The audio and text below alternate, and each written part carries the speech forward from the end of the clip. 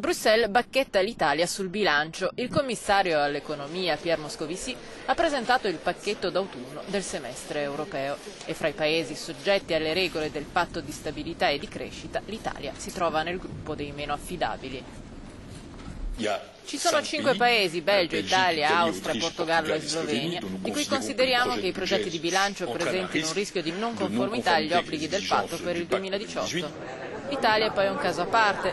Il persistere dell'elevato livello di debito pubblico è motivo di preoccupazione, dice la Commissione, che in una lettera comunica di voler procedere in primavera a una nuova valutazione della conformità dell'Italia al parametro per la riduzione del debito.